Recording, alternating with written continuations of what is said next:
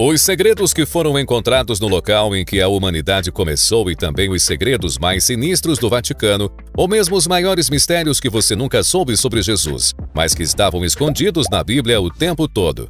Vamos iniciar de acordo com a narrativa bíblica do Jardim do Éden, onde a história da humanidade começa. Antes mesmo da existência dos textos literários bíblicos, as histórias orais estavam repletas de mitos da criação, esses mitos foram transmitidos de geração em geração, especialmente nas civilizações mesopotâmicas, como os sumérios e acadianos da Babilônia do terceiro milênio, e o povo de Canaã no segundo milênio. Todos esses mitos compartilham a origem da humanidade e apontam para a dualidade entre a luz e a escuridão, o bem e o mal, como forças opostas que formam a vida. O Jardim do Éden aparece como um local sagrado ou paraíso terrestre em diversas formas nessas narrativas pré-bíblicas. Na narrativa bíblica, o Jardim do Éden é descrito como um lugar onde o rio flui para regá-lo, e a partir dali se divide em quatro braços: Pison, que circunda a terra de Avilá, onde há ouro, Gion, que circunda a terra de Cush, Tigre, que flui a leste da Assíria, e o Eufrates, Deus criou o homem, Adão, e o colocou no jardim do Éden para que ele o cultivasse e cuidasse. Este jardim do Éden é frequentemente considerado o paraíso terrestre bíblico, um local abundante em comida, água e beleza. Primeiro Deus criou Adão e mais tarde Eva a partir da costela de Adão.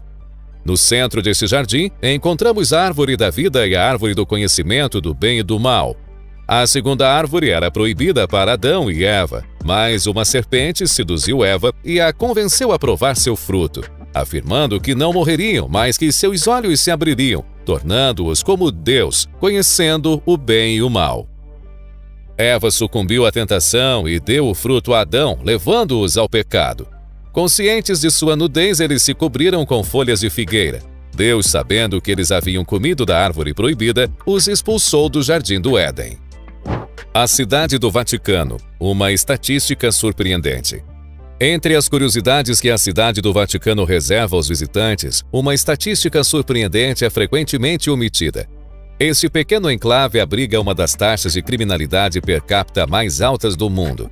Surpreendentemente, estatísticas apontam de 1 a 1,5 crimes por ano por pessoa na Cidade do Vaticano.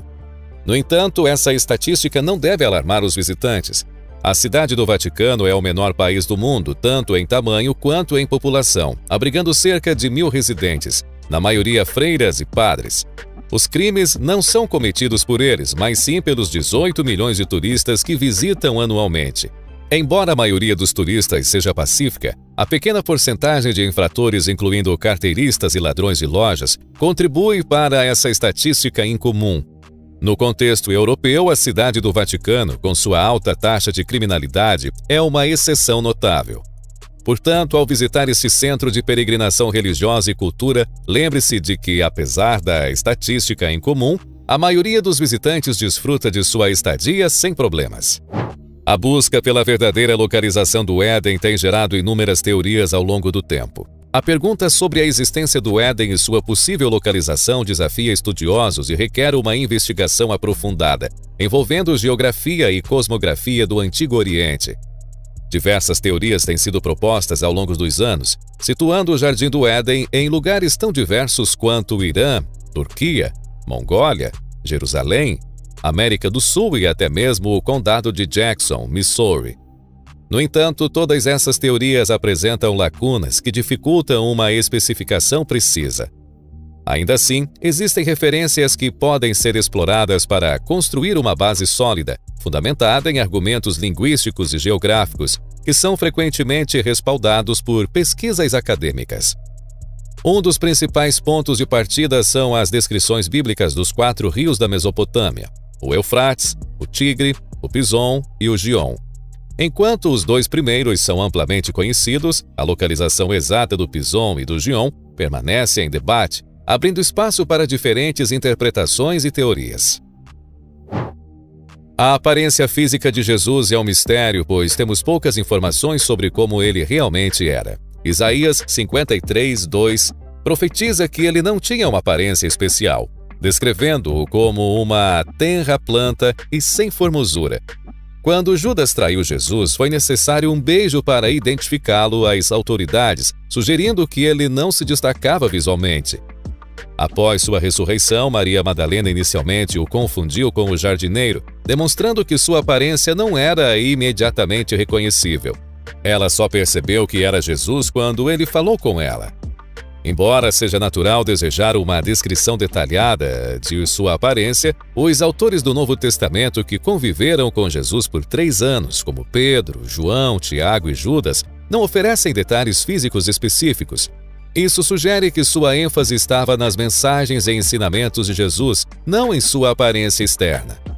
Portanto, a aparência física de Jesus permanece um mistério e sua importância reside em sua mensagem espiritual e ensinamentos, não em sua aparência exterior. Livros desaparecidos da Bíblia. No ano de 1684, o Vaticano fez desaparecer 14 livros da Bíblia sem fornecer até hoje uma explicação clara para tal ação, mantendo a decisão oculta da população. Originalmente, a Bíblia continha 80 livros quando foi traduzida do latim para o inglês em 1611.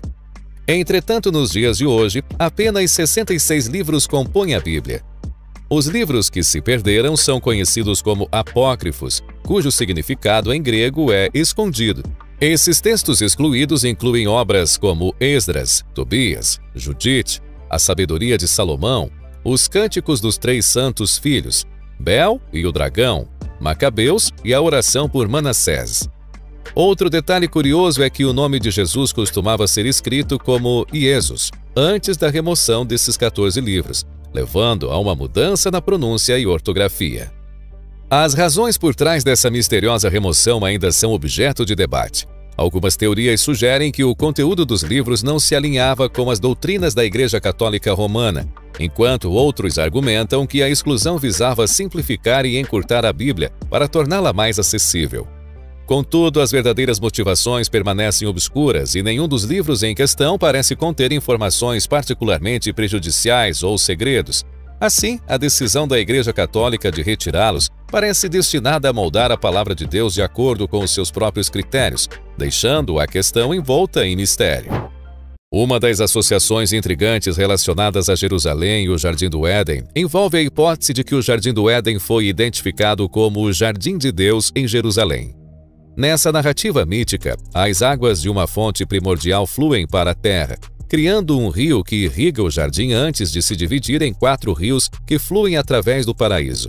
Um desses rios é conhecido como Gihon. Além disso, alguns estudiosos destacam a identificação do Jardim do Éden com o Templo de Yahvé em Jerusalém, fazendo referência ao Salmo 36, versículo 9 e 10, que descreve como as pessoas se deleitam com a comida deliciosa da casa de Deus e bebem dos abundantes fluxos proporcionados por ele. Isso é simbolizado pela fonte de vida e pela luz divina que emana desse local sagrado. Essas conexões entre Jerusalém e o Jardim do Éden acrescentam uma camada fascinante à interpretação mitológica e religiosa dessas histórias antigas. Lucas nos proporciona uma visão única da adolescência de Jesus durante a viagem de retorno da Páscoa a Jerusalém. José e Maria se separam de Jesus, entrando em pânico quando percebem que ele estava desaparecido. Por três angustiantes dias, eles o procuraram incansavelmente. Quando finalmente o encontraram, algo extraordinário aconteceu. Jesus não demonstrou o desconforto ou inquietação que um jovem normal sentiria nessa situação. Em vez disso, ele estava no pátio do templo, envolvido em profunda discussão com os professores. Sua inteligência, compreensão e respostas surpreenderam a todos os presentes, deixando uma forte impressão. Maria, cheia de ansiedade, perguntou a Jesus por que ele os havia deixado tão preocupados, ao que ele respondeu de maneira intrigante. Ele perguntou por que eles o procuraram, acrescentando que eles deveriam saber que ele estava na casa de seu pai essa revelação sutil demonstrou a profunda compreensão de Jesus de sua missão e ligação com Deus. Assim, esse episódio na vida de Jesus não apenas revelou sua excepcional sabedoria desde tenra idade, mas também lançou as bases para sua identidade e propósitos divinos. A influência alienígena é um tema de uma história que envolve o professor russo Zdeněk Ludwig, que alegadamente teve acesso aos arquivos secretos do Vaticano na década de 1920, onde encontrou informações perturbadoras. Vale ressaltar que essa história nunca foi confirmada de forma conclusiva e permanece cercada de incertezas. A narrativa sugere que Ludwig foi autorizado a explorar os arquivos que continham mais de 85 quilômetros distantes e 35 mil volumes de catálogos abrangendo mais de 12 séculos de história europeia. Enquanto examinava os documentos, ele se deparou com relatos que apontavam para a influência alienígena em civilizações antigas, desde os egípcios até os maias. Além disso, Ludwig alegou ter encontrado registros históricos de armas de tipo nuclear sendo utilizadas na antiguidade. No entanto, Ludwig nunca conseguiu levar os documentos para fora do Vaticano, o que levanta suspeitas sobre a veracidade de sua história, já que ninguém além dele afirmou ter visto esses documentos. A ideia de alienígenas influenciando as sociedades antigas e auxiliando em seu progresso se encaixa dentro da evolução conhecida das civilizações. Por exemplo, os sumérios no quarto milênio antes de Cristo passaram de caçadores primitivos para a construção de estruturas complexas, criação de sistemas de escrita e estabelecimento de sistemas de irrigação. Alguns sugerem que essa evolução pode ter sido impulsionada por influência alienígena. No entanto, a história também levanta a possibilidade de que Ludwig tenha criado uma farsa. A questão permanece em aberto e a história continua sendo uma das muitas teorias intrigantes sobre a história da humanidade. Os segredos do Éden são multifacetados e suas representações variam, mas como esses elementos se refletem na Bíblia, Tradicionalmente, no Ocidente, os querubins eram retratados como bebês ou anjinhos rechonchudos, mas essas interpretações surgiram posteriormente em relação às antigas ideias bíblicas. Na antiga tradição do Oriente Próximo, os querubins eram criaturas compostas, assemelhando-se às esfinges que serviam como acompanhantes divinos e guardiões de limites sagrados. Com frequência, eles eram esculpidos nas portas e paredes dos templos, esses querubins desempenharam um papel crucial como guardiões das portas do Éden, sendo eles que impediram Adão e Eva de retornar ao paraíso depois de serem expulsos do jardim, conforme narrado nos escritos acadêmicos. Assim, os segredos do Éden se desdobram de maneira diversificada, desde a iconografia dos querubins até o simbolismo que envolve a barreira entre o homem e o paraíso perdido. O Anticristo e o Reverendo Gabriel Amorth em 2010, contavam com 85 anos de idade. O reverendo, renomado exorcista-chefe do Vaticano, acumulou um histórico de mais de 70 mil casos de possessões demoníacas ao longo de sua carreira. Sua atuação ocorreu em um modesto escritório do terceiro andar da cidade do Vaticano, onde desempenhou o papel de exorcista por um quarto de século. Em uma entrevista ao jornal italiano La Repubblica, o reverendo defendeu seu trabalho e abertamente expressou sua crença de que o diabo é um espírito do mal puro e invencível. Segundo suas palavras, o diabo é capaz de falar diversas línguas, transformar-se à vontade e ocultar-se quando necessário. O fato de o Vaticano ter registrado mais de 70 mil exorcismos já é surpreendente por si só. No entanto, o reverendo também compartilhou eventos perturbadores, como um suposto ataque do diabo em 1981, quando o maligno teria tentado infiltrar-se no Vaticano e atacar o Papa João Paulo II. Em 2008, o diabo teria retornado ao Vaticano e supostamente possuído uma mulher suíço-italiana chamada Susana Maiolo. Em duas ocasiões, na véspera de Natal, ela teria tentado atacar o Papa Bento XVI, sendo impedida pela Pontífice Guarda Suíça. Embora seja altamente provável que Susana estivesse sofrendo de algum distúrbio mental, o reverendo Amorth acreditava que ela era uma serva do diabo. Gabriel Amorth faleceu em 2016, deixando para trás um legado intrigante de paranoia relacionada a possessões demoníacas no Vaticano. A questão sobre a genuidade desses episódios permanece em aberto e é objeto de controvérsia. Acredita-se que o livro de Gênesis tenha sido escrito durante a segunda metade do primeiro milênio depois de Cristo. Quem o escreveu pode ter se inspirado nos antigos jardins assírios, que eram construídos pelos reis para exibir seu poder sobre a natureza. Um relato semelhante pode ser encontrado no livro de Ezequiel, que narra a história de um rei que ambiciou ser como Deus e, como resultado, foi expulso do jardim do Éden.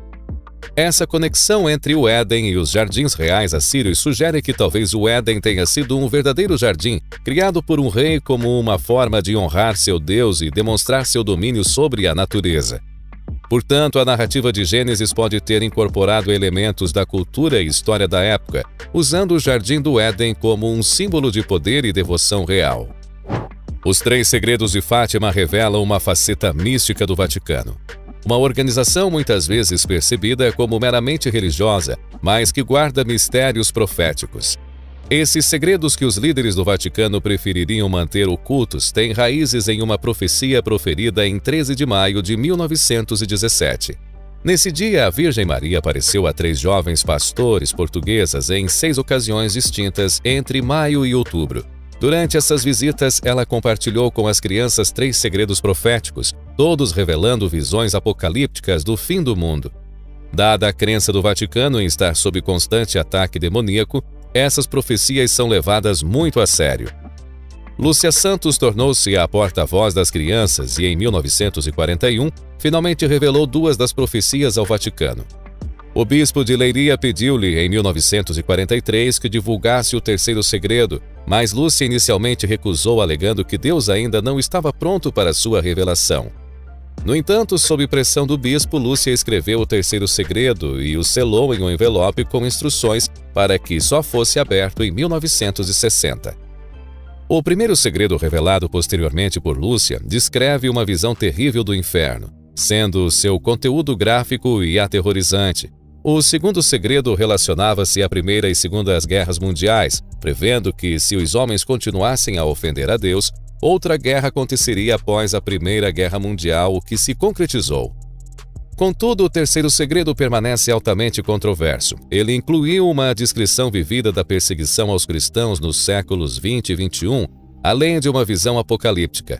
No entanto, há céticos que acreditam que o Vaticano não divulgou integralmente o conteúdo revelado por Lúcia, mantendo-o em segredo e, possivelmente, alterando-o para atender às expectativas públicas. A verdade por trás desse terceiro segredo continua envolta em mistério. A montanha sagrada não é mencionada explicitamente em Gênesis, mas é na visão descrita no livro de Ezequiel que encontramos um rei que percorre um monte sagrado de Deus no Éden. Nessa visão, a descrição do céu compartilha uma linguagem religiosa semelhante à usada para descrever os templos, com adornos de joias e pedras de fogo sobre as quais os reis caminham. Na tradição judaica, a montanha sagrada de Deus é identificada com o Monte Sião, localizado em Jerusalém. Essa conexão pode nos indicar uma possível localização real do Éden, sugerindo que o Éden poderia estar mais próximo do que imaginamos. Talvez em Jerusalém, na forma do Monte Sião, isso lança uma nova luz sobre a interpretação da história do Éden, vinculando a geografia sagrada da cidade e a conexão entre a humanidade e Deus. Em 2007, o enigmático objeto voador não identificado, um OVNI, surgiu nos céus sobre a cidade do Vaticano, criando um mistério intrigante. Esse objeto era descrito como um disco prateado que emitia um brilho laranja, e muitos o observaram pairando acima da majestosa Basílica de São Pedro, em plena luz do dia. A presença desse OVNI foi fotografada e testemunhada por diversas pessoas, mas logo após sua aparição, todas as menções ao evento desapareceram abruptamente, retirando-o da consciência coletiva. A rápida evanescência do fenômeno não altera a realidade de que ele ocorreu, Algo incomum e misterioso permaneceu nos céus do Vaticano por vários minutos em 2007, e o enigma permanece em torno de sua origem e propósito. Algumas teorias sugerem que, se considerarmos a hipótese de que o objeto era uma nave alienígena, poderia indicar que o Vaticano já tinha conhecimento da existência de seres extraterrestres há séculos. Uma conjectura é que essa suposta nave alienígena pode ter deixado um representante para se encontrar com o Papa levantando até a possibilidade de que o próprio Papa poderia ter alguma ligação com seres extraterrestres. No entanto, é importante destacar que essas são meras especulações. O evento nos céus da cidade do Vaticano permanece como um enigma não resolvido, e as teorias sobre sua natureza variam amplamente. A verdadeira origem e significado do OVNI continua a ser um mistério intrigante, Qualquer que seja a explicação, esse acontecimento nos lembra de que há muito sobre o universo que ainda não entendemos. Suas teorias sobre esse evento em comum são bem-vindas nos comentários. Não se esqueça de se inscrever antes de encerrar o vídeo. No livro de Gênesis, retrata Adão como o primeiro homem, mas o livro de Ezequiel apresenta um relato de um rei que conseguiu adentrar o jardim do Éden devido ao seu status, porém foi expulso por sua tentativa de se igualar a Deus. Nas civilizações do Oriente Próximo, os reis eram responsáveis por construir e manter jardins sagrados, e não havia uma separação clara entre a esfera religiosa e política. Os reis desempenhavam o papel de intermediários entre o humano e o divino. Parece que a narrativa de Gênesis incorporou elementos das tradições religiosas associadas à realeza, Adam talvez simbolizava o arquétipo do rei na história, com seu papel no Éden refletindo a relação entre os reis e as divindades, bem como sua autoridade sobre os aspectos sagrados e terrenos da sociedade. Essa conexão entre Adão e a realeza realça a complexidade e as camadas simbólicas presentes na história. Existe uma hipotética evidência escrita que sugere um lado pouco conhecido da vida de Jesus Cristo, um manuscrito do século VI, traduzido do grego para o antigo siríaco, que insinua que ele se casou com Maria Madalena e teve filhos, conhecido como o Último Evangelho. Esse manuscrito descreve um período da vida adulta de Jesus que não é discutido na Bíblia. Entre seu nascimento e morte, afirma que ele teve um relacionamento romântico com Maria Madalena, incluindo a paternidade de alguns filhos. Essa revelação é altamente controversa por várias razões, Primeiramente, a autenticidade do manuscrito é questionável, uma vez que sua origem e data exata de criação são incertas, apesar de ter sido encontrado na Biblioteca Britânica. Além disso, o manuscrito retrata Maria Madalena como a filha de Deus e uma redentora da humanidade, uma posição que desafia a visão tradicional da Igreja Católica sobre Maria Madalena. Muitos historiadores sugerem que Jesus poderia ter levado um estilo de vida mais humano do que o retratado pelo Vaticano, sugerindo uma desconexão entre a doutrina oficial da Igreja e a realidade da vida de Jesus. Essa potencial discrepância alimenta o debate sobre o significado do manuscrito e sua influência na compreensão de Jesus Cristo e da história cristã. No entanto, a verdade sobre a vida de Jesus permanece um enigma e a interpretação desse manuscrito continua sendo objeto de especulação e controvérsia. O diabo não é mencionado na versão de Gênesis. Na história, uma serpente sugere a Eva que ela coma o fruto da árvore do conhecimento do bem e do mal. No entanto, interpretações posteriores associam essa serpente a Satanás. É importante notar que as cobras nem sempre foram retratadas como malévolas nos tempos antigos. Na antiguidade, as cobras eram vistas como criaturas que desafiavam a morte e guardavam os segredos da vida e da morte. Moisés, por exemplo, possuía uma vara que podia se transformar em uma cobra ao seu comando, e Deus até instruiu Moisés a criar uma estátua sagrada de uma serpente que tinha o poder de curar as pessoas que eram mordidas por cobras venenosas. Portanto, a relação entre a serpente no Éden e o diabo é uma interpretação posterior, e as cobras tinham um significado diverso e complexo na antiguidade, incluindo associações com o poder de cura e a sabedoria. O Vaticano frequentemente obtém lucros de empreendimentos que não estão alinhados com suas crenças, Apesar de ser uma instituição religiosa, acumulou uma longa história de riqueza, possuindo ativos significativos e desfrutando de influência financeira considerável. Um exemplo notável é o investimento de milhões de euros do Vaticano na produção do filme Rocketman, que narra a história de Elton John e seu relacionamento com o seu marido David. Este relacionamento é profundamente desaprovado pela Igreja Católica no entanto, o Vaticano não hesitou em investir cerca de um milhão de dólares no filme, visando colher os benefícios financeiros. No entanto, a situação é mais complexa do que parece. A secretária de Estado do Vaticano realiza constantemente investimentos financeiros, incluindo dezenas de milhões no Centurion Global Fund, que, por sua vez, apoia diversas produções cinematográficas em Hollywood. Esses investimentos resultam em retornos financeiros para o Vaticano, e provavelmente não estava ciente dos detalhes específicos de cada investimento, mas aceitou os lucros resultantes. Essa prática demonstra uma aparente contradição entre os valores religiosos da instituição e suas atividades financeiras. O Vaticano, ao buscar lucros em empreendimentos que não estão alinhados com suas crenças, levanta questões sobre a ética e a moralidade de suas decisões de investimento. A história da maçã remonta a Gênesis, que menciona o fruto proibido, mas não especifica qual fruto Deus proibiu Adão e Eva de comer no jardim do Éden. Eva é tentada pela serpente e acaba comendo a fruta, que ao longo do tempo foi frequentemente associada à maçã. Essa ligação possivelmente se originou na Grécia Antiga, onde a palavra maçã também tinha conotações eróticas e simbolizava o desejo sexual. Essa metáfora associava a fruta à sexualidade de Adão e Eva, a busca pelo local do Jardim do Éden ecoa a busca por respostas em nossas vidas. A história do Éden não apenas marca o início da história humana e da queda, mas também representa o surgimento do conhecimento humano e da autoconsciência. A busca incessante pelo Éden pode ser uma metáfora para nossas buscas pessoais e anseios por compreensão e significado. Assim, a questão persiste: onde estava o Jardim do Éden?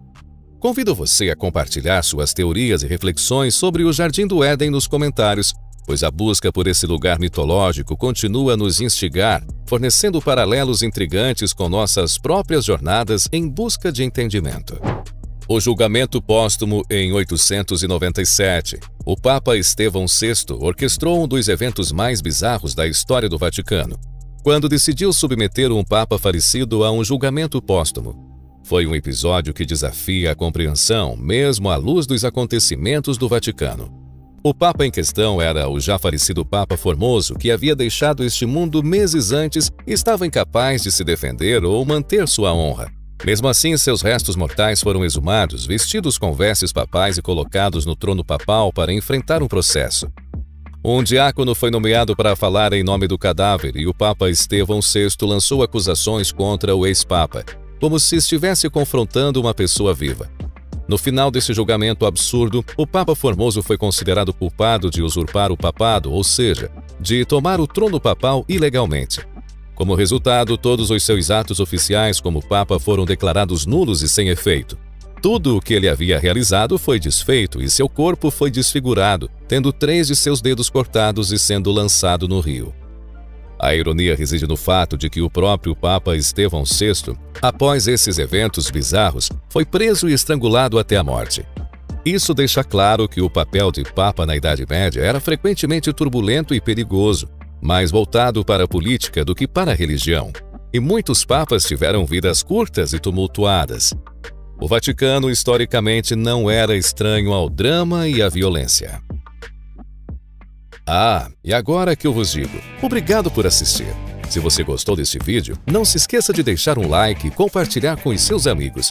Siga o canal para não perder os próximos conteúdos e ative o sininho de notificações para ficar por dentro de tudo.